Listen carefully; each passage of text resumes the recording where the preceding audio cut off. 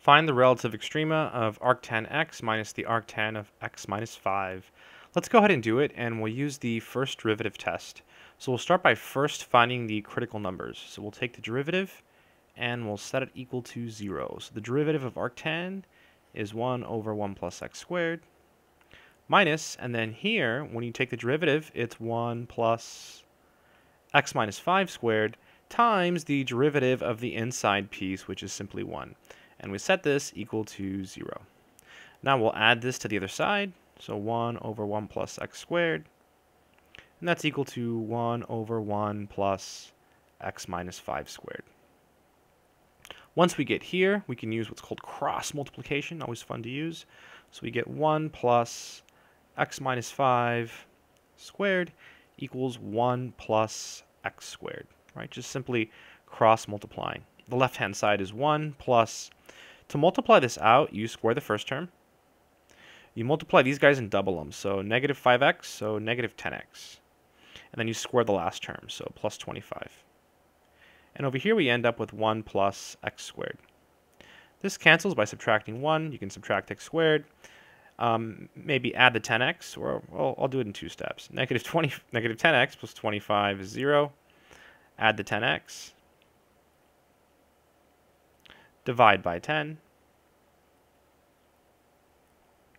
So this is um, 5 halves, which is 2.5. So that's our critical number. I'll call it a CN.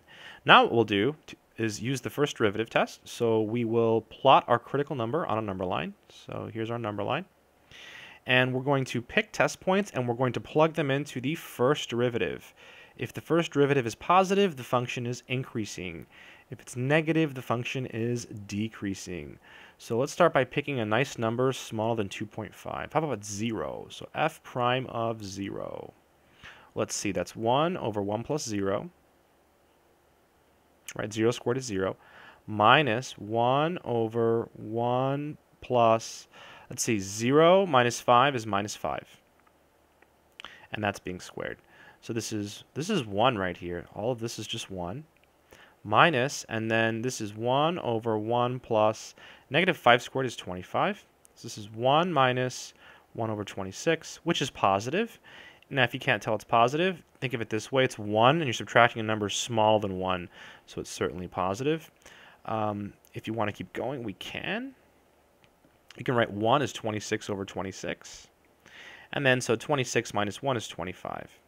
The reason you write the 1 that way is so you, you have the same denominators. You can actually, actually subtract, right? 26 minus 1 is 25. This is positive, so it's increasing.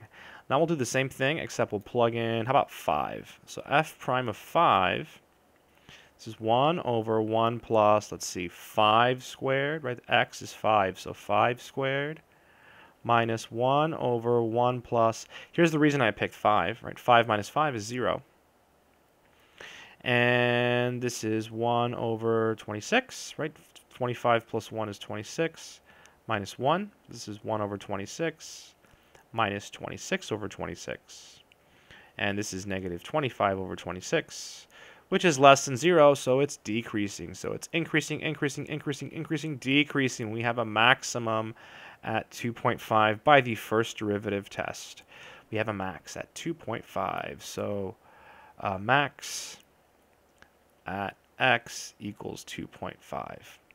To find the actual maximum, we have to go back to the OG function. So go back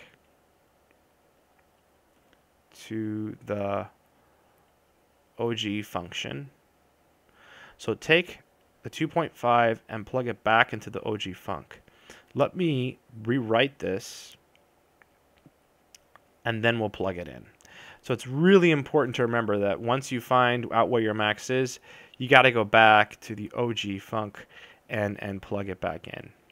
OG OG original function. So f of 2.5, plugging it back in. This is the arctan of 2.5 minus the arctan of 2.5 minus 5. So this is arctan of 2.5 minus 2.5 minus 5 is negative 2.5. Ooh, we should be really, really pro about this here. Tangent is an odd function, and so the inverse of an odd function is also odd. So arctangent is odd. So we can actually be slick here and do the following. We can pull the negative out because it's odd. Negative and negative is positive. So we get arctan 2.5 plus arctan 2.5.